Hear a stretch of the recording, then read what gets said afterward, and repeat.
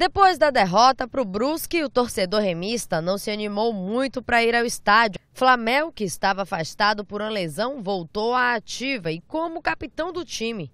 A grande novidade em campo foi a estreia do argentino Nano Krieger. Quem coordenou o time foi o auxiliar técnico Márcio Roberto, já que Josué Teixeira estava afastado. E o jogo começou a esquentar neste lance. A bola foi lançada para o argentino perto da grande área, mas o goleiro do Paragominas tirou de carrinho. Em um contra-ataque, Fidelis cruzou para o Pimenta que mandou para a rede. Paragominas abre o placar no Mangueirão. 1 a 0 aos 9 minutos de jogo. Flamel cruzou para a grande área. A bola passou por Nano e por Edgar. Léo Rosa recebeu a bola e chutou cruzado, mas foi para fora. Ratinho de fora da área mandou para a rede. 2 a 0 para o Paragominas. Nesse passe, Nano Krieger deu a cabeçada, a bola sobrou para Léo Rosa, que chutou forte.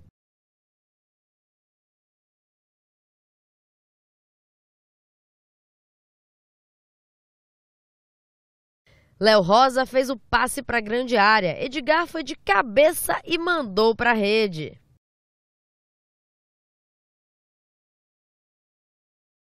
O artilheiro do Parazão conseguiu o empate e o primeiro tempo ficou no 2 a 2. Na volta do intervalo, Tsunami mandou a bola com força, mas foi na trave e Gabriel Lima empurrou para dentro. O Remo conseguiu a virada do placar.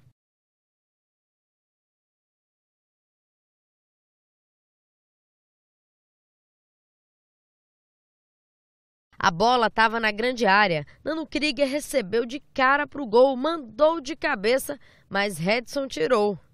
O Remo avançou com Marquinhos, que deixou para Jaime. Ele colocou na área, Léo Rosa deixou para Marquinhos, que chutou com força, mas a zaga cortou. Fim de jogo no Mangueirão, 3 para o Remo, 2 para o Paragominas. Com a vitória de virada, o Clube do Remo deixou o torcedor mais confiante e subiu para 11 pontos na tabela do Parazão. Agora o Leão se prepara para enfrentar o Cametá pela sexta rodada do campeonato, que será neste sábado a partir das 4 da tarde no Parque do Bacurau. O auxiliar técnico Márcio Roberto, que comandou a partida, fez uma avaliação do jogo. É um jogo difícil, como a gente já, já esperava bastante de dificuldade, mas a equipe se portou bem, desgaste, muito desgaste de, de, de viagem.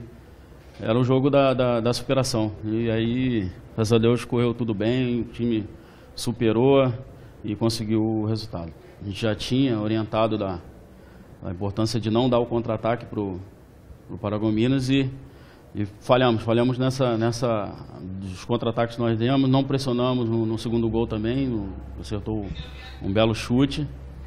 Mas eu acho que, que a, a, equipe está tá de parabéns, muito, teve superação. A gente, com, de, dos 20 jogadores concentrados, 14 locais, mostra a, a, força do, da, da, base do, do, dos jogadores locais. Então a gente é, tá, tá muito satisfeito, muito satisfeito porque conseguimos esse resultado.